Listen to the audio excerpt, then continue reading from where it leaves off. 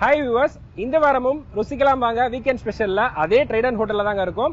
போன வாரம் செஃப் கோபு வந்துட்டு நம்மளுக்காக மட்டன் சுக்கா பேட்டி பண்ணி காமிச்சாரு. இந்த வாரம் என்ன டிஷ் பண்றாருன்னு உள்ள போய் பார்க்கலாம். வாங்க.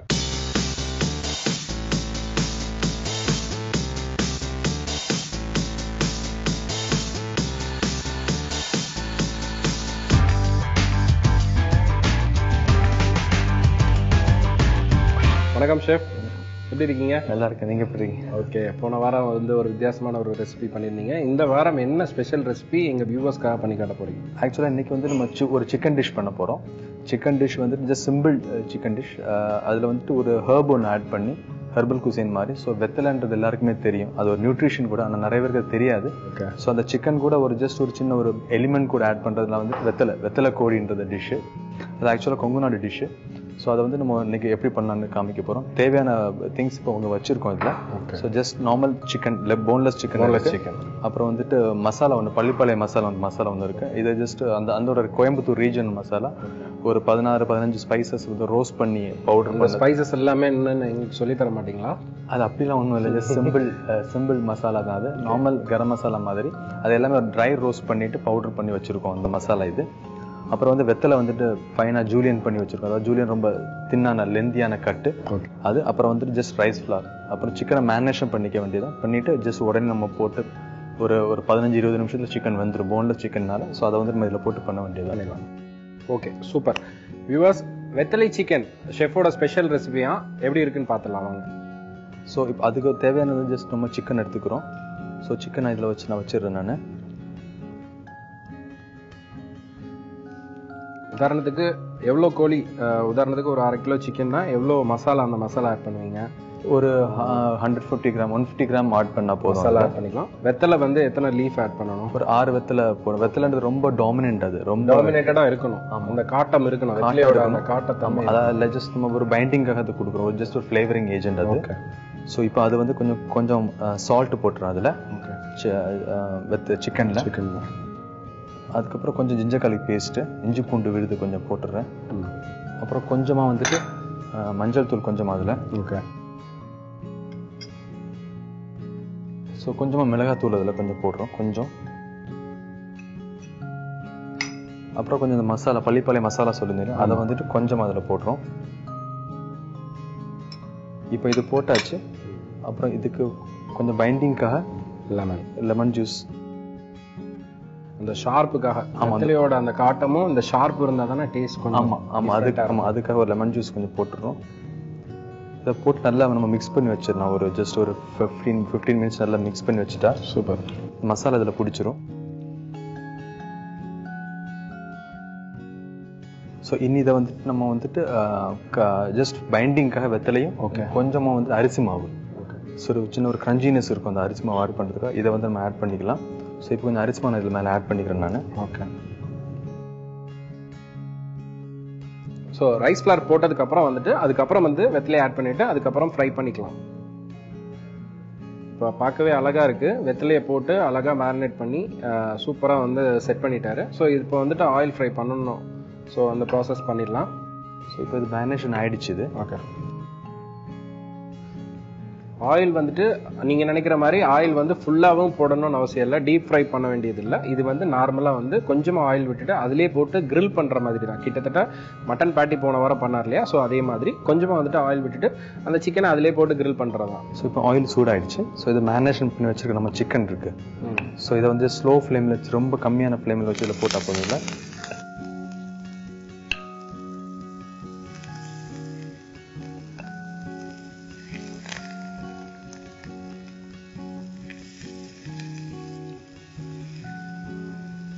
ஓகே ஷெஃப் இந்த மாதிரி புது புது டிஷ் எல்லாம் பண்றீங்களே இது எப்படி நீங்களா ரிசர்ச் பண்ணுவீங்களா? இல்ல எப்படி உங்களோட சீனியர் சொல்லி கொடுத்த ரெசிபியா எந்த மாதிரி? அது வந்து நான் காலேஜ் படிக்கும்போது வந்துட்டு வெக்கேஷன் டைமில் ஸோ சாட்டர்டே சண்டேஸ் வந்துட்டு நாங்கள் வந்துட்டு ஒவ்வொரு வில்லேஜாக போயிட்டு ரிசர்ச் டிஷ்ஷஸ் ரெசிபி கலெக்ட் பண்ணிட்டு அதை எங்கள் காலேஜில் ட்ரை பண்ணுவோம். ட்ரை பண்ணி அதை வந்துட்டு எங்கள் ஷெஃப்ஸ்க்கு கொடுக்கும்போது அவங்க அவங்க அக்செப்ட் பண்ணிட்டு ஜஸ்ட் சின்ன சின்ன சேஞ்சஸ் சொல்லுவாங்க. அதை எப்படி பண்ணலாம் அதை எப்படி பண்ணலாம்னு. ஸோ அது அது மூலியமாக நாங்கள் ட்ரை பண்ணிட்டு so we will try and put இந்த நியூ மெனு அண்ட் அது மாதிரி இங்கே ஹோட்டலில் வந்துட்டு every week like week weekly one we keep on doing research அந்த ரிசர்ச் பண்ணும்போது ஒவ்வொரு டிஷ் நாங்கள் ரிசர்ச் பண்ணிட்டு அதை of course executive chef general manager will will give a try அதுக்கப்புறம் வந்து அவங்க ஓகே சொன்னா will implement the new menu so மூணு மாசத்துக்கு ஒரு மெனு மாத்திட்டு இருப்போம் இந்த சமுத்திரான்ற ரெஸ்டாரண்ட்ல ஸோ நாங்க வந்து அந்த மாதிரி மாத்தி மாத்தி பண்றது.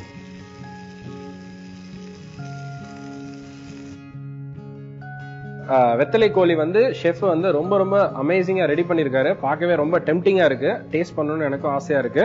ஸோ அது மட்டும் இல்லாம இந்த பிளேட்டிங் பண்ணியிருக்காரு இல்லையா? ஸோ அந்த பிளேட்ல கூட வெத்தலையை ட்ரை பண்ணி அழகா வந்து பவுடர் பண்ணி அப்படியே மேல தூவி விட்டுருக்காரு. இதுவே பார்க்க ரொம்ப அட்ராக்டிவா இருக்கு. ஸோ அதுக்கப்புறம் வந்துட்டு ஷெஃப் எப்படி பிளேட் பண்ணி நம்மளுக்கு கொடுக்குறாங்க டேஸ்ட் பண்ணிட்டு நான் கண்டிப்பா உங்களுக்கு எப்படி இருக்குன்னு நான் சொல்றேன். வாங்க பார்க்கலாம். பிளேட்டிங் பண்ணியாச்சு. ஜஸ்ட் வெத்தலை ஒரு டஸ்ட் பண்ணி வச்சிருக்கோம். வெத்தலையை நார்மல் வெத்தலையை ட்ரை பண்ணி பவுடர் பண்ணி டஸ்ட் பண்ணி வச்சிருக்கோம். இது அவகாடோன்றது பட்டர் ஃப்ரூட் எல்லாருக்குமே தெரிஞ்சது. பட்டர் ஸோ பட்டர் ஃப்ரூட் வந்து அது ரொம்ப லைட்டானது ஸோ அதோட அந்த வெத்தலையோட கான்ட்ரவர்சரி அதை ரொம்ப ஹிட் அந்த கட் பண்ணி விட்டுரும். ஸோ நீங்கள் அடுத்த பைட்டுக்கு போகும்போது உங்களுக்கு ஈஸியாக இருக்கும். ஸோ அது கொஞ்சம் வச்சிருக்கோம். இப்போ ஸோ இப்போ சிக்கன் குக் ஆயிடுச்சு. ஸோ ஜஸ்ட் ஃபார் கார்னிஷ் அது போடுறோம்.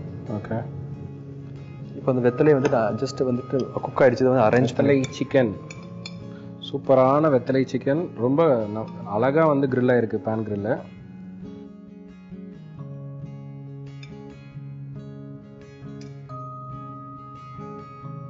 இந்த வெத்தலை சிக்கன் பார்த்தீங்கன்னா ரொம்ப கலர்ஃபுல்லாக அழகாக டெம்டிங்காக இருக்குது ஸோ இது எப்படி இருக்குன்னு டேஸ்ட் பண்ணி பார்த்துடலாம்.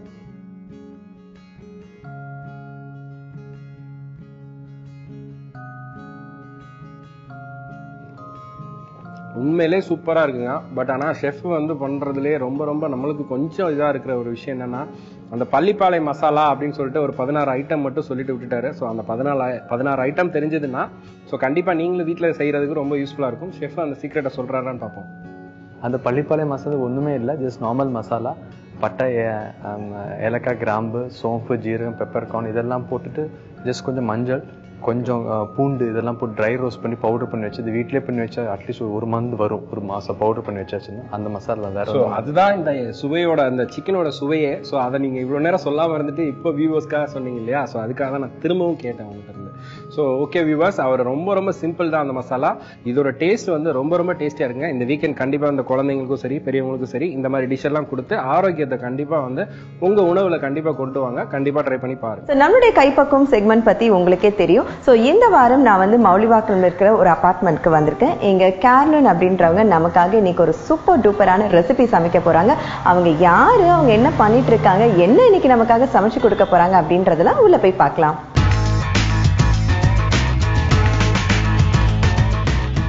வணக்கம். எப்படி இருக்கீங்க? நல்லா இருக்கேன் ஓகே ஸோ வந்து சொல்லுங்க உங்களை பத்தி வந்து ஆடியன்ஸ் எல்லாரும் நிறைய பேர் வந்து பார்த்துருப்பாங்க சீரியல்ஸ்ல ஷோஸ்லலாம் ஸோ அவங்களுக்குலாம் வந்து ஒரு ஆர்டிஸ்டா தெரியும் பட் உங்களுக்கு வந்து குக்கிங் அப்படின்றது ஆப்வியஸ்லி எனக்கே இப்பதான் தெரியும். ஸோ உங்களுக்கு குக்கிங் மேல எப்போ இருந்த இன்ட்ரெஸ்ட் வந்தது? குக்கிங் இன்ட்ரெஸ்ட் சாப்பிட எல்லாருக்கும் நல்லா சாப்பிடுற எல்லாருக்குமே சமைக்க பிடிக்கும்னு சொல்லுவாங்க இல்லையா? சாப்பிடுதான். எனக்கு ஃபர்ஸ்ட் நல்லா சாப்பிட பிடிக்கும் அப்புறமா சமைக்க பிடிக்கும். ஸோ அந்த வயசு சமையல் கத்துக்கிட்டது தான். அந்த மாதிரி சமையலை கத்துக்கிட்டீங்க. ஓகே ஸோ சமைக்கிறதுக்கு முன்னாடி இன்னைக்கு என்ன ரெசிபி பண்ண போறீங்க? அந்த ரெசிபி பத்தி ஒரு சின்ன பிரீஃப் இன்னைக்கு பண்ண போறது வந்து கேரளா ஸ்டைல் பிரியாணி கேரளா அதுவும் மலபார் ஸ்டைல் பிரியாணி கேரளால நிறைய வெரைட்டிஸ் இருக்கு. எப்படி நம்ம ஊர்ல இருக்கோ அதே மாதிரி கேரளா நிறைய வெரைட்டிஸ் இருக்கு. மலபார் ஸ்டைல் வந்து பர்டிகுலர்லி ரொம்ப famous okay Calicut side Malappuram side ரொம்ப ஃபேமஸ் தான். அண்ட் இந்த டைம் இப்போ வந்து அந்த இஃப்தார் ரம்ஜான் நோன்பு டைம்ல வந்து இன்னும் டேஸ்டியரான பிரியாணி கிடைக்கும்னா கேலிக்கட்டுக்கு போகணும்னு சொல்லுவாங்க. ஸோ அதோட அந்த ரெசிபி தான் நீ நான் பண்ணிக்கிறேன் ஓகே ஸோ அப்போ அந்த காலிக்கட் பிரியாணி இப்போ இங்கே வரப்போகுது. செய்ய ஆரம்பிக்கலாம். ஓகே ஸோ ஃபர்ஸ்ட் வந்து பேஸ் மசாலா ரெடி பண்ணிடலாம். மசாலாக்கு வந்து எப்பவும் பண்றது தான் யூஸ்வலாக நம்ம வந்து மற்ற பிரியாணியில மசாலாவோட சேர்த்து ரைஸை போட்டு மிக்ஸ் பண்ணுவோம்ல. பட் இது வந்து ஆப்போசிட் ஃபர்ஸ்ட் மசாலா பண்ணிட்டு கூட ரைஸை தனியா பாயில் பண்ணி எடுத்து வச்சு மிக்ஸ் பண்ண ஓகே கேரளா பிரியாணி வந்து நம்ம யூஸ்வலா வனஸ்பதி யூஸ் பண்ணி தான் செய்றோம். டால்டா ஸோ ஹெல்த் கான்ஷியஸா இருக்கவங்களுக்கு இது ஒரு பிக் நோ பட் டேஸ்ட் வந்து வைஸ் பாத்தீங்கன்னா இதான் ரொம்ப ரொம்ப ரொம்ப டேஸ்டி ஓகே எவ்வளோ அன்ஹெல்த்தியோ அவ்வளோ டேஸ்டி ஸோ பேஸ் ஃபுல்லாவே வந்து வனஸ்பதியில நெய் வந்து மேல நம்ம லேயர் பண்றதுக்கு. ஓகே மற்ற பிரியாணிலாம் நெய்லயே செய்வாங்க. இது அது இல்லாம வனஸ்பதியில செய்யறது. டேஸ்ட் டிஃபரன்ஸ் உங்களுக்கே தெரியும். அதை சாப்பிடும்போது அந்த டிஃபரன்ஸ் நல்லாவே தெரியும். ஓகே ஸோ எப்பவும் போல பட்டை லவங்கம் ஏலக்காய். இது வந்து சாப்பாடு வேக வைக்கிற சாப்பாடுலயும் நம்ம போட்டிருக்கோம். ஸோ அதுல இருக்கும். அண்ட் மசாலாலையும் இருக்கனால நீங்க தனியா பவுடர் பண்ணி போட வேண்டிய விஷம் மசாலா பவுடர் போடுவோம்ல அது தேவை கிடையாது இதுக்கு. பட்டை லவங்க ஏலக்காய் ஒரே ஒரு பே லீஃப் ஸோ உங்களுக்கு சமைக்க ஆசை வந்ததுக்கு அப்புறம் ஃபர்ஸ்ட் நீங்க ட்ரை பண்ண ரெசிபி எது? ஆசை வந்து சமைக்கல. எப்போ சொன்ன மாதிரி சாப்பிட இல்லைன்றதுனால ஃபர்ஸ்ட் சமைக்க ஆரம்பிச்சேன். ஃபர்ஸ்ட் ஃபர்ஸ்ட் செஞ்சது வந்து ஃப்ளாப் ஷோ ஆன ஃபர்ஸ்ட் ரெசிபி சாம்பார். அப்ப வந்து அம்மா இல்ல வீட்ல வேற சாப்பாடு இல்லைனால சரி சாம்பார் செஞ்சே ஆகணுன்ற ஒரு கட்டாயத்துல செஞ்சது. ஓகே. இன்னைக்கும் நான் மறக்க மாட்டேன். பருப்பை வேகவே வைக்காம சாம்பார் பண்ணும் போது சூப்பர். இதுக்கே ஒரு பாராட்டு தெரிவிக்கணும் உங்களுக்கு. லாஸ்டா எடுத்துட்டு போய் சமைச்சு முடிச்சு அம்மாக்கு வந்து கொடுக்க. அம்மாக்கு வந்து டேஸ்ட் கொடுத்தப்ப சார் ரொம்ப நல்லா இருக்கு. ஆனா பருப்பை வேக வச்சிருக்கலாம் அப்படின்னாங்க. அப்பதான் தெரிஞ்சது ஓ சாம்பார் செய்யணும்னா பருப்பு வேக வச்சாகணும் அப்படின்னு. அப்போ ஃபர்ஸ்ட் அட்டம் செஞ்சதோட சரி ட்ரையல் ஆனா அம்மா தான் பார்த்தாங்க. எப்பவுமே அம்மா தான் இன்னைக்கு வரைக்கும் அம்மா தான் ஸோ இன்னைக்கு நான் மாட்டிக்கிட்டேன்னு நினைக்கிறேன். இல்ல இதுக்கு முன்னாடி செஞ்சிருக்கேன். அதனால நீங்க பயப்பட வேணாம். அதே மாதிரி மத்த பிரியாணி நீங்க பார்க்கும்போது செய்யணும் எல்லாமே வந்து ஒரு மாதிரி ஹார்ட் குக் ஆகும் இல்லையா? இது எல்லாமே சாஃப்ட் குக் ஆனா போதும். ஏன்னா பாதி குக்கிங் இதுலயும் பாதி குக்கிங் தம்ல ஆகும்.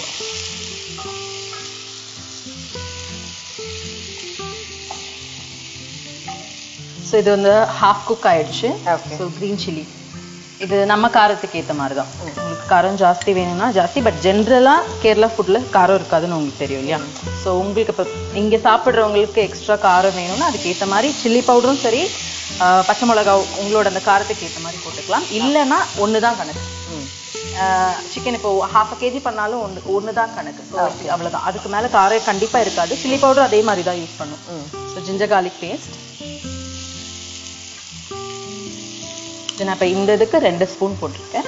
ஸோ நிறைய சிக்கன் இருக்குமா அதோட எக்ஸ்ட்ரா அந்த இருக்கு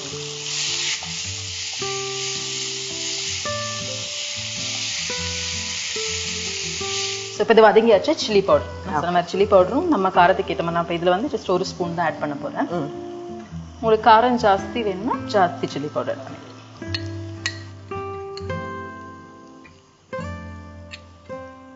இதுக்கு ஈக்குவல் அமௌண்ட் கொரியாண்டர் தனியா பொடி. எவ்வளோ சில்லி பவுடர் யூஸ் பண்றீங்களோ அதே அமௌண்ட் தனியா பொடி ம். மஞ்சள் பொடி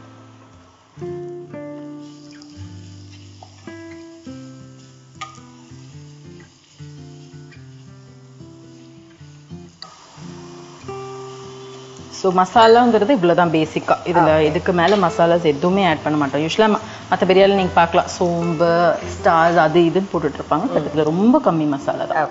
ஸோ இது வதங்குற டைம் தான். இந்த ஒரு பச்சை வாசனை போயிடுச்சுன்னா நீங்க சிக்கன் ஆட் பண்ணிட்டு சிக்கன் குக் ஆனதும் அந்த கிரேவியை கிரேவி வத்த வைக்காம எடுத்துட்டீங்கன்னா ரைஸ் கூட மிக்ஸ் பண்ண கரெக்டா இருக்கும். ஸோ ஈஸியாக பண்ணக்கூடிய பிரியாணி கூட. அதான். உங்களுக்கு ரைஸ் ரெடியா இருந்துச்சுன்னா சிக்கன் வேகிற டைம் மட்டும் தான் கால்குலேட் பண்ணிக்கலாம். ஸோ நம்ம வந்து சின்ன சின்ன பீஸா அகைன் மின்ட் அண்ட் இதெல்லாம் வந்து அரைச்சு போடணும்னு கூட அவசியம் கிடையாது. சின்ன பீசஸா கட் பண்ணி போட்டுக்கலாம். ஏன்னா நீங்க தம் போடும்போது இந்த ஃப்ளேவர் நல்லா இறங்கிடும். ஓகே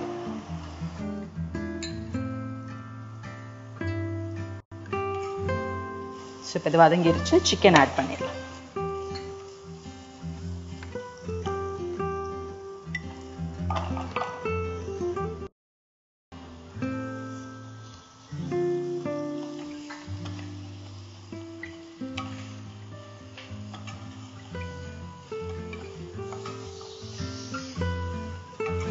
இது மசாலா ஃபுல்லா போட்டாச்சு இப்போ நம்ம கொஞ்சம் உப்பு சேர்த்துட்டு தண்ணி விட்டு வேக வச்சிடலாம் சிக்கன் சிக்கனுக்கு தேவையான உப்பு மட்டும் போட்டுட்டு இது ரொம்ப தண்ணி ஊற்ற வேண்டாம். நம்ம சொன்ன மாதிரி ரைஸ் கூட கிளறணும். ஸோ இது வேகறதுக்கு தேவையான கொஞ்சமா தண்ணி விட்டுட்டு மூடி வச்சு வேக வச்சு எடுத்துக்கலாம்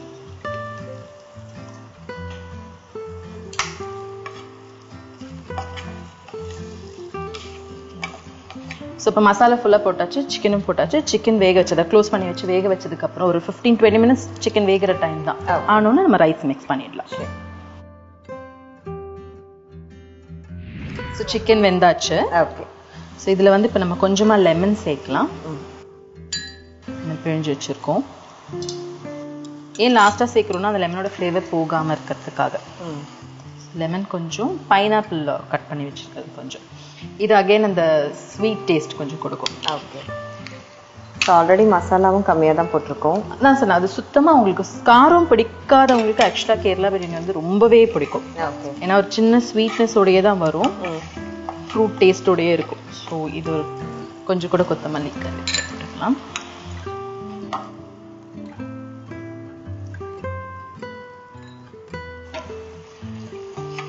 ஸோ இது டூ மினிட்ஸ் அந்த பைனாப்பிள் லைட்டாக மேஷ் ஆகிறதுக்கு விட்டுட்டு நம்ம தம் போட ரெடி பண்ணிடலாம். ஓகே ஸோ இது வெந்தாச்சு இப்போ தம் போடலாம். ஓகே ஸோ இப்போ தான் நெய் யூஸ் பண்ண போகிறோம் ஸோ கொஞ்சமாக கீ விட்டுட்டு.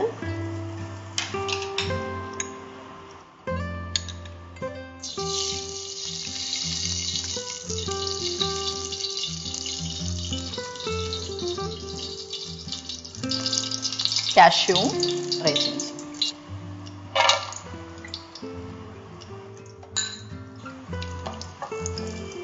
இது ஆன உடனே நம்ம இதில் ரைஸ் போட்டு ஃபர்ஸ்ட் லேயர் போட்டிருக்கோம். ஸோ அந்த நெய் லைட்டாக ரைஸில் இறங்கும். மேலே ஒரு லேயர் ஆஃப் கிரேவி அதை அப்படியே ஃபில் பண்ணி முடிச்சிட்டோம்னா ரைஸ் கொட்டு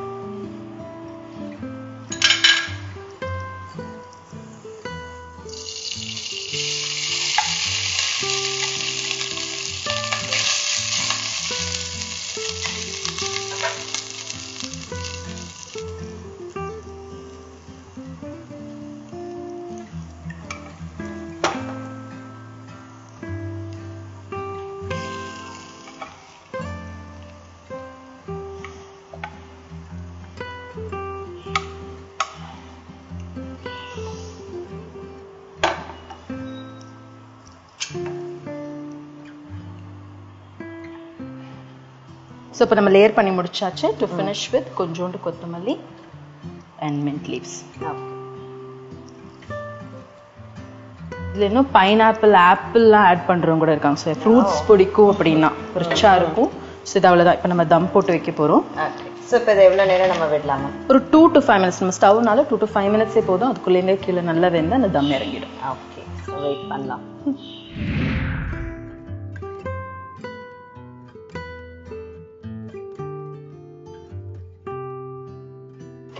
உங்களோட டர்ன் என் வேலையெல்லாம் இது ஏதோ வந்து மழை வாங்குறது என் வேலையெல்லாம் முடிஞ்சிருச்சு. ஸோ நீங்கள் டேஸ்ட் பண்ணி ஸோ பாருங்க. ஆக்சுவலாக அதனுடைய அந்த அரோமாவே ரொம்ப நல்லா இருக்கும் ஃப்ரூட்ஸ் எல்லாம் சேர்ந்து. ஓகே ஸோ நமக்காக கேர்லன் அவர்கள் கேரளா பிரியாணி செஞ்சு கொடுத்துருக்காங்க. இப்போ இதனுடைய சுவை எப்படி இருக்குன்னு பார்க்கலாம்.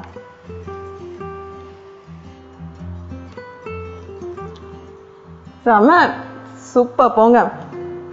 அண்ட் நிஜமாக வந்து அந்த ஃப்ரூட்ஸ் போட்டது செம ஒரு ஸ்பெஷலான விஷயம். அண்ட் காரமும் வந்து அஃப்கோர்ஸ் எனக்கும் அவ்வளோ ஒத்துக்காது. ரொம்ப ரொம்ப டேஸ்ட்ஃபுல்லாக இருக்கும்.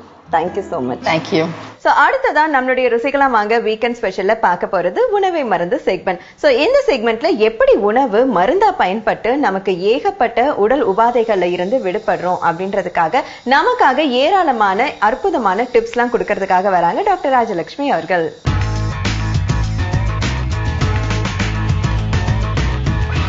இந்த நிகழ்ச்சியின் வீக்கெண்ட் ஸ்பெஷல்ல உணவே மருந்து அப்படிங்கிற சிறப்பு பகுதியில நம்ம வீட்டு கிச்சன்ல இருந்தே நம்மளுடைய சிறிய சிறிய பிரச்சனைகளுக்கு எப்படி நம்ம மருத்துவ குறிப்பு கொடுக்கலாம் அப்படிங்கிறத பார்த்துட்டு இருக்கோம். அந்த வகையில இந்த வெயில் காலத்துல குழந்தைகளுக்கு இருக்க பெரிய பிரச்சனை என்ன அப்படின்னு பாத்தீங்கன்னா வேநீர் கட்டி. ஸோ இந்த வேநீர் கட்டி அப்படிங்கிறது வந்து எதிரில இருந்து மருவி வந்தது அப்படின்னு பாத்தீங்கன்னா வியர்வை கட்டி. ஸோ இந்த வியர்வை கட்டியை தான் நம்ம என்னன்னு சொல்றோம்? வேநீர் கட்டி அப்படிங்கிறது வந்து சொல்லிட்டு இருக்கோம். ஸோ இந்த வியர்க்குருவால கட்டிகள் ஏற்படுறப்ப அந்த எரிச்சல் வந்து குழந்தைகளுக்கு வந்து தாங்க முடியாத ஒரு விஷயம். இதற்கு நம்ம என்ன சொல்றோம்? டியோட்ரண்ட் பவுடர் போடுறோம் அப்படின்னு பட் ஆனா அந்த பவுடர்லாம் என்ன பண்ணுவோம் அப்படின்னா நம்ம சருமத்தோலில் இருக்க துவாரங்களை போய் அடைத்துட்டு ரொம்ப அதிகமாக வந்து எரிச்சலையும் வலிகளையும் தான் உண்டு பண்ணும். உங்களுக்கு அதில் இருக்க மென்தாலால குளிர்ச்சி தன்மை நீங்கள் உணரலாம். ஆனால் கண்டிப்பாக முழுமையாக வந்து அது சரியாகாது. ஸோ அதற்கு நம்ம வீட்டிலேயே இருந்து என்ன பண்ணலாம் அப்படிங்கிறத பார்க்கலாம். இதற்கு ரொம்ப முக்கியமான ரெண்டு விஷயம் என்ன அப்படின்னு பார்த்தீங்கன்னா நுங்கு. ஸோ நுங்கு வந்து உள்ள சாப்பிட்டாலும் அது நமக்கு குளிர்ச்சி தான் ஆனா இதை வெளிப்பிரயோகமா எப்படி நம்ம எக்ஸ்டர்னலா யூஸ் பண்ணலாம் அப்படிங்கிறத பார்க்க போறோம். அதே மாதிரி மற்றொரு விஷயம் என்ன அப்படின்னு பார்த்தீங்கன்னா வெட்டிவேர். இந்த வெட்டிவேரும் வந்து ந- நம்ம சருமத்திற்கு வந்து மிக அருமையான வந்து பயனளிக்கும். இந்த வெட்டிவேரை என்ன பண்ணணும் அப்படின்னு பார்த்தீங்கன்னா இதே அளவு ஒரு கைப்பிடி வெட்டிவேர் எடுத்துட்டு என்ன பண்ணணும்னா நம்ம குளிக்க போற தண்ணீர்ல இரவே வந்து ஒரு பக்கெட் தண்ணீர்ல வந்து ஊற வச்சிடணும். ஸோ இதை ஊற வச்சுட்டு மறுநாள் காலையில அந்த தண்ணீர் எடுத்துக்கணும். குழந்தைகளுக்கு எந்த இடத்துல வந்து இந்த வேநீர் கட்டி இருக்குதோ அந்த இடத்துல என்ன பண்ணணும்? அந்த நுங்கு. ஸோ நுங்கை வந்து நீங்க என்ன பண்ணணும் அப்படின்னா அந்த தோலை வந்து எடுக்கக்கூடாது. ஏன்னா அந்த தோல் வந்து அவ்வளோ ஒரு நல்ல விஷயம். இந்த தோல் இந்த நுங்கு. இது ரெண்டையுமே நம்ம மிக்சியில போட்டு பல்ஸ்ல வைப்போம் பாத்தீங்களா? அந்த மாதிரி வைக்கிறப்ப ஒன்று ரெண்டு திப்பி திப்பியா இருக்கும். ஸோ இது எந்த இடத்துலலாம் உங்களுக்கு வேநீர் கட்டி இருக்கோ அந்த இடத்துல ஒரு குளிப்பதற்கு ஒரு அரை மணி நேரத்துக்கு முன்னாடி அப்படியே கொஞ்சம் பூசி விடணும். முக்கியமா குழந்தைகளுக்கு வந்து பாத்தீங்கன்னா இந்த கன்னத்தோட பகுதியில இருக்கும் நடுமுகுதி முதுகுல இருக்கும் அதே மாதிரி தொடைப்பகுதியில இருக்கும். ஸோ அந்த இடத்துல ஒரு ஹாஃப் அன் ஹவர் போட்டு விட்டுருந்தோம்னா அது என்ன பண்ணும் அப்படின்னா அந்த வேநீர் கட்டியில வந்து பாத்தீங்கன்னா ஒரு இன்ஃப்ளமேஷன் ஆயிருக்கும். கொஞ்சம் செவப்பா செவ செவன்னு இருக்கும். அந்த வீக்கத்தை வந்து அது குறைக்கும். ஸோ அந்த இது குறைச்சிட்டு நீங்க குளிக்கணும். இந்த தண்ணீர் ஊற வச்ச தண்ணீர்ல நீங்க தொடர்ந்து குளிக்கிறப்ப அந்த வேநீர் கட்டி வந்து எந்த பிரச்சனையுமே இல்லாம தன்னால குறைந்து அதே மாதிரி அந்த இரு வந்துட்டு போன இடம் வந்து எந்த காயங்களும் ஏற்படாது ஆஹ் சலம் வைக்காது எந்த தொந்தரவும் இல்லாம குழந்தை வந்து ஃப்ரீயா நீங்க வந்து வெயில்ல விளையாட விடலாம் எந்த சைடு எஃபெக்ட்ஸும் இருக்காது. அடுத்த வாரம் இந்த உணவே மருந்து சிறப்பு பகுதியில உங்களுக்கு இன்னும் ஒரு சிறந்த மருத்துவ குறிப்போட சந்திக்கிறேன். நன்றி வணக்கம். ஓகே வீவர்ஸ் டாக்டர் ராஜலட்சுமி அவர்கள் உணவை மருந்து செக்மெண்ட்ல அற்புதமான டிப்ஸ் அது மட்டும் இல்ல சம்மருக்கு ஏத்த மாதிரியான டிப்ஸ்லாம் கொடுத்துருந்தாங்க. இது உண்மையிலே நம்ம எல்லோருக்குமே பயனுள்ளதா இருக்கும்னு நினைக்கிறேன். ஸோ மீண்டும் அடுத்த நிகழ்ச்சியில் உங்கள் அனைவரையும் சந்திக்கிறேன். நன்றி வணக்கம்.